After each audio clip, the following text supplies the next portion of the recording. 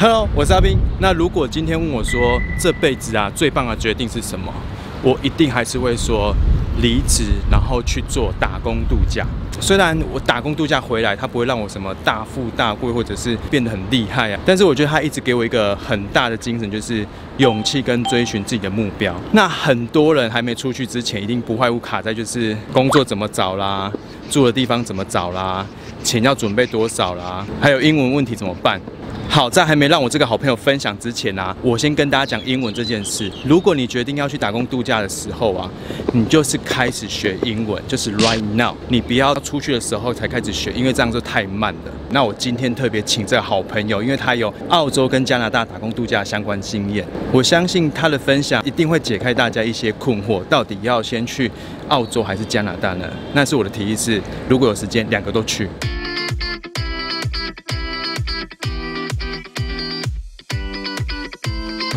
嗨，Lily，嗨，大家好，我是 Lily。刚刚有没有很中意梗？嘿，吓死我！完全跟刚刚讲的不一样。我们两个回来之后啊，打工度假回来就是接案组。对，那你觉得打工度假对你就是之后回来工作有什么影响吗？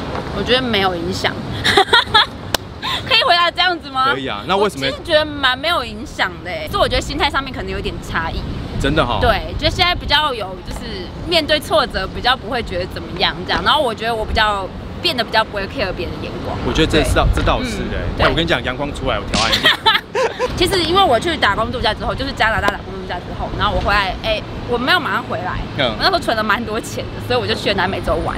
对。然后我在南美洲玩了六个月吧。然后路上遇到很多人，也是就是边玩边工作这样，他们都是自己接案的。就大家讲的 digital nomad，就是数数位游牧这样子。对，我觉得很很有相同的经验，因为那时候在打工度假跟那个欧洲打工换宿的时候，就是其实有遇到几个朋友、室友，然后他每次来自各国。对。然后有时候，譬如说如果我没有事情的话，他就打开电脑开始做他赚钱的工作。没错。然后如果哎。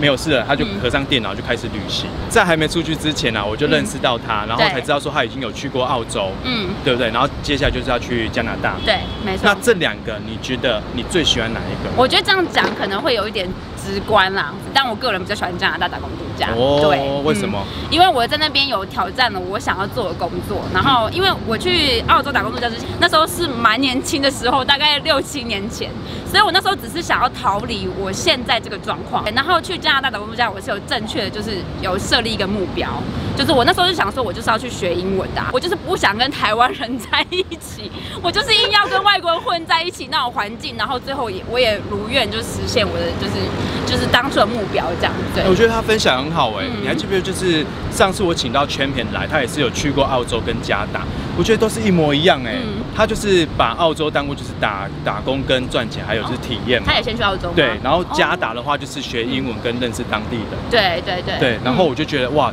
真的是很特别的经验。那澳洲是做什么工作啊？我在澳洲也做了不同的工作。一开始我们先找了中国餐厅工作，因为一开始觉得活不下去太贵了。然后就后来就在我们的背包客栈认识了日本人，所以他们就介绍我们。那个老板本来只有还有日本人而已，就是一个德国老板的那个呃富盆梅农场。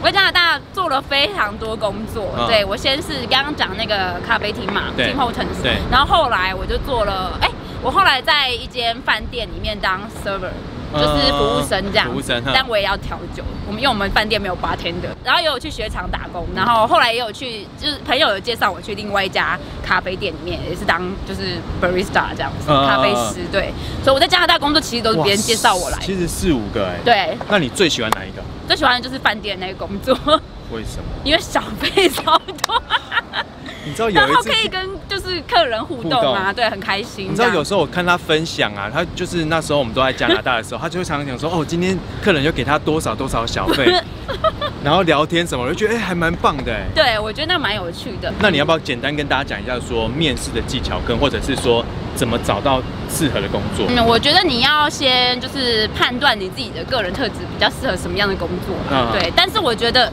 加拿大如果要当服务生的话，CP 值是最高的。服务生呢？对，你知道，就就我刚刚讲的前面那种咖啡店啊，那种连锁咖啡店，其实拿不太到小费。哦，对，因为它都是就是把钱就是小费都放在一个桶子里面嘛，然后就是大家一起分这样子。好。接下来问大家最最最最关心的事情，嗯，英文差怎么办？英文差怎么办？我觉得，因为你有一年的时间嘛，对不对？对所以你可以练习呀、你可以先去一些，就像我刚刚讲的，其实咖啡厅那，就是一开始那种咖啡厅，其实不太需要讲话，只要基本的就好了。哦对，所以我觉得你先把就是基本的能力练起来，对不对？能力、胆量，对跟一些就是怎么去应对、进退应对的一些话，这样。对对对，然后我觉得你在台出发去台湾之前，你就可以先做一些准备啊。是不是？你不要开场的时候有讲，是红没有没听到，是不是？抱歉，抱歉。我觉得你可以先准备啊，像我去加拿大之前，我就想说，我先把我工作辞掉了，我把我正职辞掉，然后我就去找了一间呃台湾的背包客栈，哦我就问老板说，哎、我现在有半年的时间，我可不可以在这边当柜台？因为你就这样子去练习你的英文，不是很好吗？这样子比较起来啊嗯，赚钱哪边赚的比较多？我 我就说我在加拿大赚的比较多，对，因为我觉得那澳洲算是劳力比较为主对。哇，我大吃一惊哎，因为我问过这么多人啊，嗯大家都会觉得说澳洲赚的比较多哎，对就没想到你是第一个哎。对，我在加拿大赚的比较多。你你开启的就是希想去加拿大打工度假的一扇窗哎，我觉得我是幸运呐、因为我觉得你去呃问服务生工作的时候，你要跟老板先聊天，然后你要先谈清楚你的、哦你的 deal 是什么。嗯就是我们那一家饭店刚好是，就是你全部的小费都是给服务生的，嗯就你负责哪一个 table，那个 table 的小费都是你的。那在澳洲或加拿大怎么去认识当地朋友？好，首先我觉得就是我说真的，我在澳洲其实没有认识太多当地人，几乎是没有哦。我们只有搭便车的时候认识了一个澳洲人。你在搭便车？对，我在加拿大跟澳洲都搭过便车。哇，说真的，你可不可以教一个比较正常的认识别人？搭便车大家应该会不敢。好了好了，对不起。那澳洲我没有，除了搭便车以外，我没有认识当地人。然后加拿大我认识人的方法呢，是因为加拿大他们蛮蛮妙，他们每一个小镇嗯都有那个小镇的 Facebook group，哦，真的？对，所以我都去搜寻。对，然后我就认识了，就用这个方法认识当地人。他们都会有一个什么 community 之类的，你就只要搜寻前面就好了。我就打 Jasper，然后他就会有很多什么 Jasper community 之类的。对，那我知道，就是你知道吗？每个人啊，那个溜滑板是 是要入境是不是？当然还有很多 app 可以用啊，就什么 Meetup 之类的，嗯我不知道大家知不知道，就是你有都可以有有有在上面。对，这个我有教，对你看上面的那个名片。对啊，我觉得这个也很不错。对对，那澳洲跟加拿大，你觉得景点啊，或者是有没有什么特别的地方让你印象深刻？我先说澳洲好了。啊，对，其实澳洲我没有待很多地方，因为我只去了七个月嘛。嗯那我最喜欢的就是那个新型小岛。对，然后我们就是在那个农场赚了一些钱之后，我们就去那边玩了两个礼拜。嗯我觉得那个小岛超棒的，因为它有高山，然后又有海边，又有沙滩，又有沙丘，反正它任任何一种就是地形都有。对，上面什么都有这样子，嗯嗯嗯所以我觉得那个那小岛超梦幻，超棒的。然后加拿大的话，我觉得加拿大都很漂亮，怎么办对，因为我是一个很喜欢爬山的人，我待的那个小镇叫做 Jasper。Jasper 也是一个什么都有，就是有冰原啊，有瀑布啊，有山什么，然后有野生动物，然后我觉得那边超棒，就是 超多条步道，就你怎么爬都爬不完。哦，重点是然后 Jasper 看得到极光，哦，对，所以我们九月的时候就是还蛮常，就是会下载那个极光的那个 app，嗯然后只要一有警报，马上。马上开车 就去找这样子，就是赶快跟有车的人一起去这样子。好，那今天呢，真是分享的超多了，都不知道怎么剪，怎么办？我的问题吗？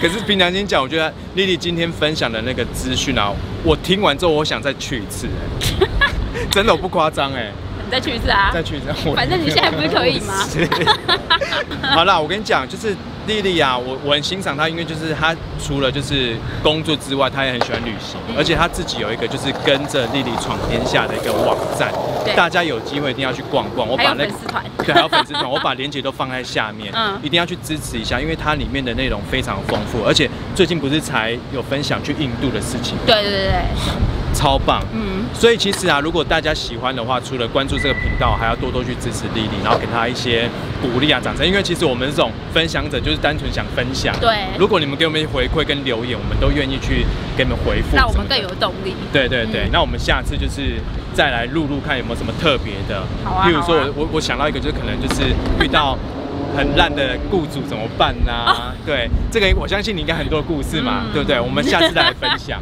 就是我讲那个加拿大人的黑暗面。是不是？好啦 那我们下次见喽，好好好拜。，OK，拜拜。